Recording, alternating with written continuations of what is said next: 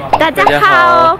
Hoy nos encontramos en Beijing, China. Es 19 de noviembre y hemos venido a la embajada a votar las elecciones presidenciales. Bueno, la verdad, yo solamente voy a votar, no, no crean que No va a votar. Así que acompáñennos.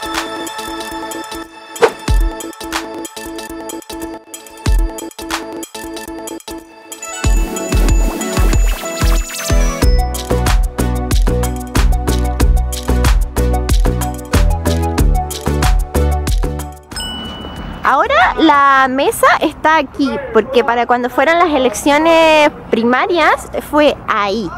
Vi- Vino súper poquita gente, así que vamos a ver cuánta gente ha venido a la mesa 1, la única en Beijing, China.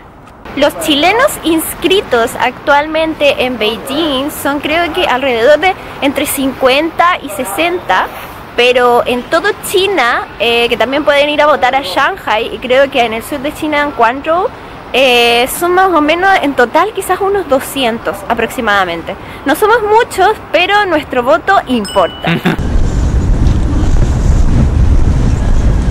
Mesa 1.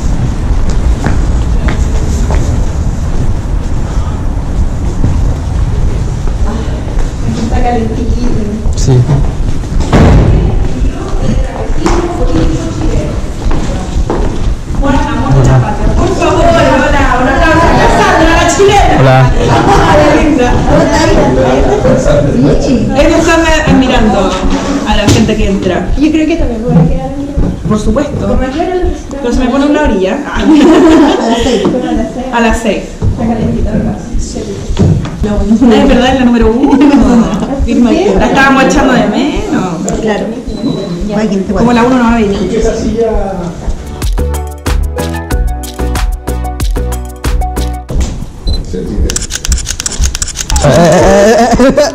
¿Qué pasa?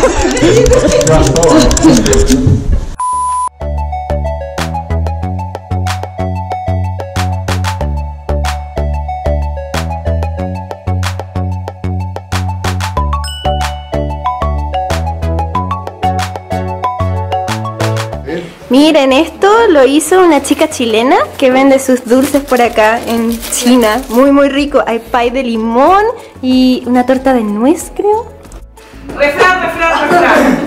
A la ballena todo le cabe. Nada la llena. ¿Quién aparecía en el antiguo billete de 100? Se fue Tomás. iba a contar. Sí, sí, de 100. Aníbal Pinto. Diego Portales. Ah, ahora otro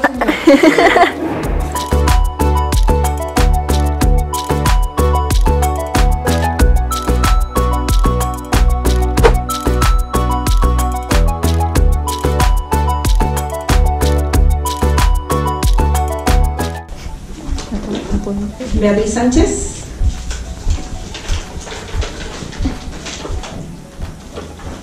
Sebastián Piñera.